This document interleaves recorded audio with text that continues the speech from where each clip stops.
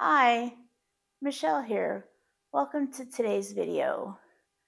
I thought today I would show five plants that are kind of in my hall of shame for the month of November. These are plants that um, have just really done nothing this month. They're slowly dying, they're slowly doing absolutely nothing. Um, I just don't know what to do with them anymore. So I'm kind of putting them in the hall of shame. So I thought you'd like to take a look at them with me and let's go ahead and see what's going on. So if you like today's video, please consider giving it a thumbs up. If you'd like to see other plant related content from me, please consider subscribing to my channel. It really helped me out. I'd appreciate it a lot. And if you have any questions or comments, please write them below. I'll get back to you, I promise. And on with the video. The first plant I have in my Hall of Shame for the month of November is this Sigillatus. And you wouldn't think it to look at it, but it really is. I've had this Sigillatus since, um, I'll have to put it up on the screen, but I've had it for a very long time and it's really done not much. Um, as you can see, it's got a uh, original stem here that hasn't, that's just grown one leaf and nothing else. Um, but thankfully, it grew this stem and this stem, which seems to be its most productive one. But it tends to die off like it did right here. So it's it's a frustrating plant. Um, it grows a little and then it dies off, and then it grows a little and it dies off. So it's in pon right now. Um, I'm tugging I'm tugging on the roots a little to make sure they're still rooted in place, and they are. Um, this one actually does not have a wick in it, so that's kind of surprising to me. Um, I feel the pon. it feels wet. Um, so that's a good thing. I'm kind of digging around in it. The roots are pretty far down. Um, I'm looking outside the cup. I don't really see any roots outside the cup except for this one, and it's dead. So maybe the roots are an issue. I'm not really for sure. So maybe I will take this out of the pot and take a look at it. And I'm so sorry my dog is using its her squeak toy right now. So, you know, I'll try taking this out of the pot again and try to look at it again and see what's going on with it and maybe get it to go ahead and grow. And the other thing is is the leaves are so so thin. The thankfully the leaves up here aren't so thin, but down here they are. So the first plant in my Hall of Shame for the month of November is this Hoya sigillatus. The second plant, and I better grab it fast because it's dropping leaves everywhere. It's dropped three leaves on me just while I'm filming this video. And it's this um, Um, it, it is trying to root, and if I look, I see one with a tiny little root right there, but the other two don't have any roots. And they are dropping leaves like mad. I don't want to break these long um, cuttings up unless I have to, but you know, I'm getting to the point where I have to. The reason this is in the Hall of Shame is I've had this for a very long time. I'm just putting the cuttings back in the uh, in the bottle. I've had this plant for a very long time and it was doing well. And then all of a sudden it took a nosedive. It uh, had root mealies. Unfortunately, I found a few plants in my collection that had root mealies. Someone in Hoya Jungle posted that they did five different uh, treatments with some Bayer Advanced um, tree and shrub uh, treatments and they posted their success rates treating root mealies with a soil drench with it. So I'm going to try that and see how it goes. Um, I've already drenched uh, two two plants, um, and it took the root mealies right up to the surface right away. So I'm hoping that this is going to be as successful.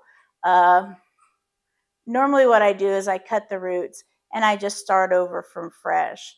Um, but I really would like to see uh, a try a method to see if it works on a plant that's not as important. So that way, when I have a plant that is of the utmost importance to keep the root system, I know if I have a method that will work to keep the root system and keep the root system healthy. So it's an experiment. Um, it's not, I'm not saying that that's going to be the way to kill root mealies. It's an experiment and we'll see what happens. So that was off on a tangent. I'm sorry about that. But that's the reason why the Sipitangensis is on my Hall of Shame. Uh, these cuttings are dropping so many leaves right now, and I wish they would just root up. Uh, what I will probably do after the video is I will probably cut these into shorter cuttings and stick them in the water and see if I can't get them to root that way. So that is my second plant on this list this month. The third plant on my list on the list this month, and you'll have to excuse it. It's got uh, some some dusty water on it, uh, some dusty water spots on it. But this is my Phuwuaensis. This is on my November plant hall of shame because it just hasn't grown at all in like six months. Um, it's been treated for flat mites. I know it's not flat mites. I've looked at it with a microscope time and time again. I've treated it with commercial miticide. I've trimmed the roots back twice. I've regrown the roots twice. I really don't know what it, what it wants. Um, it does have some roots. The roots don't look the best. Um, you know, that root came off. Um, it's got a root coming, oop, it's got a root coming out through the wick. Feels strong. So maybe I'll have to take it out of the pot and take a look at the roots. I don't know. But it hasn't grown at all. Um, and that's really disappointing. It's it's kind of a real pain in the you know backside.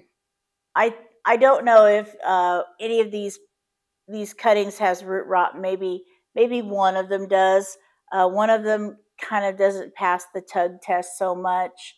So this one is kind of comes up a little when you tug on it, but the rest of them seem fine. So I know it's not mites. Whether it's a root issue, maybe. At this point, that's all it can be. It's in a, cabinet that has humidity. It's in a cabinet that has light. Uh, it's in a cabinet that other things grow. I wish it I could figure it out so I could uh, fix it. So this is my Phuwuaensis, which is definitely in the plant hall of shame for me for the month of November. And this plant is definitely in my hall of shame for the month of November. This is my Dischidia hirsuta. Um, I'll let you get a good glance at this. As you can see, there are dead uh, leaves in there. There's this is dead. And you can see where I tried to clip down the the cuttings, but it didn't work and that died. Brought some scissors so I could trim this.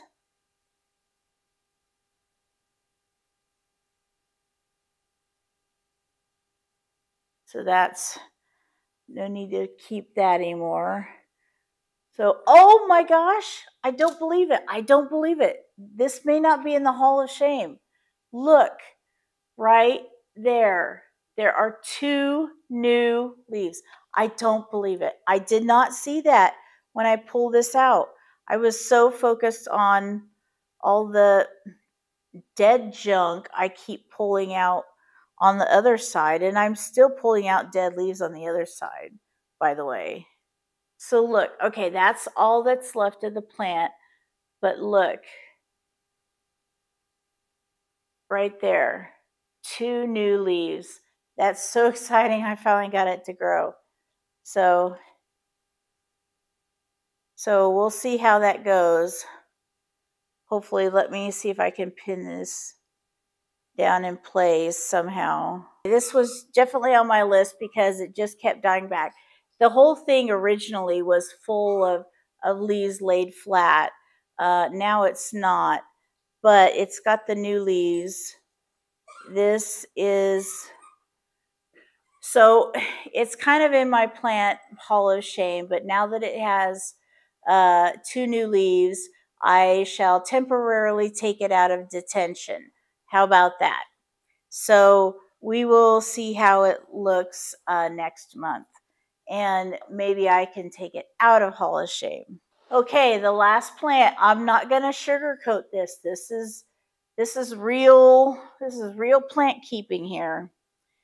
The last plant is oh yes, you can even see it. See the crispy leaf.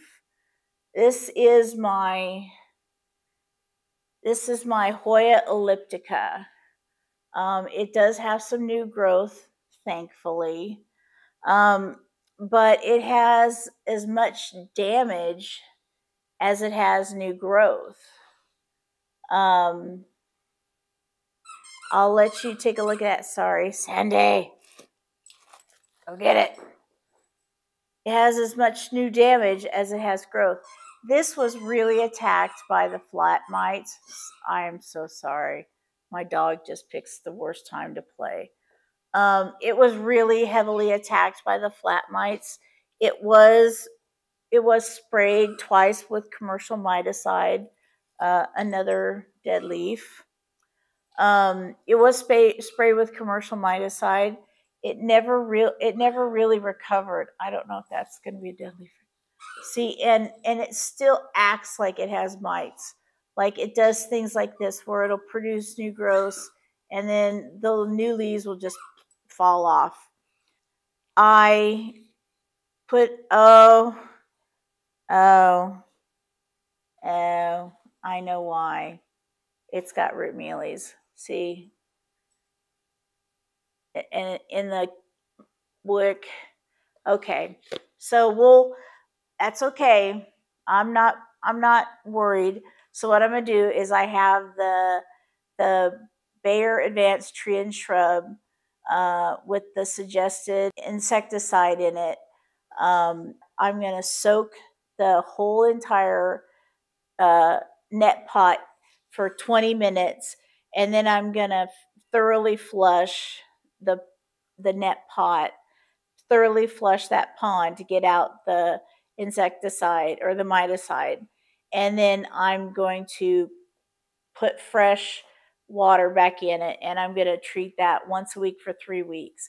I did that on my, let's see, on my, I did it on two, two other Hoyas and the root mealies floated right up to the top and it, the plants seemed to be doing really good after that but that's definitely probably what's going on with this uh, elliptica. So that one's definitely in the Hall of Shame, but it's my fault. So I should be in the Hall of Shame instead of the elliptica for this one. So kind of my bad. Um, I should check that. I know I checked it. I know I checked it uh, a few weeks ago. Checked the checked the pot and didn't see anything. So that must have happened fast. That's in this detolf over here. So that means that I'll be checking that detolf for root mealies. Um, so we'll see what happens with that. Thanks for joining me on a lighthearted take on some plants that have been frustrating me this month. I know we don't have a plant hall of shame. I thought if I could laugh about my plants with you, it would make the situation a little easier to handle. I have some other video ideas coming up in the same vein, about plants that may be divas or finicky, but I also have some care-focused videos planned. Please leave me a comment below and tell me what kind of video you are looking forward to seeing. Until next time, I'll see you later. Thanks. Bye.